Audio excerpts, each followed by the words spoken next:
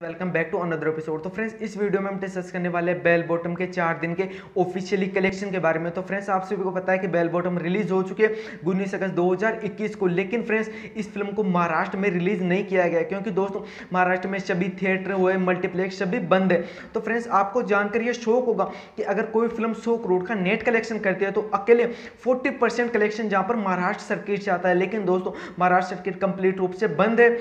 और इसी के साथ ही बेल बॉटम रिलीज़ हुए अदर स्टेट में। लेकिन दोस्तों, वो भी 50 परसेंट ऑक्यूपेंसी के साथ, जहाँ पर इस फ़िल्म के नाइट शो है ज़ीरो क्योंकि दोस्तों सभी स्टेट में यह रिस्ट्रिक्शन है कि आप नाइट शो नहीं लगा सकते, आप नाइट में आपको सिनेमाघरों को बंद करना होगा। अब बात करें बेल बॉटम के कलेक्शन के बारे में तो फ्रेंड्स जैसे उम्मीद थी वैसे कलेक्शन तो नहीं आ रही, लेकिन दोस्तों मेकर्स ने यह साफ़ कर दिया था कि हम इस फ़िल्म को कलेक्शन के तौर पर रिलीज़ नहीं कर रहे हैं इस फ़िल्म को इसलिए रिलीज़ कर रहे हैं ताकि एग्जिबिटर बच सके सिनेमाघर बच सके। तो अब बात करें बेल बॉटम के चार दिन के कलेक्शन के बारे में तो फ्रेंड्स ये फ़िल्म रिलीज़ हुई थी बृहस्पतिवार को, यानी कि गुरुवार को। तो फ्रेंड्स गुरुवार का इस दिन का कलेक्शन था फ़र्स्ट डे नेट 2.75 करोड़ जो कि एक अच्छा कलेक्शन मान सकते हैं।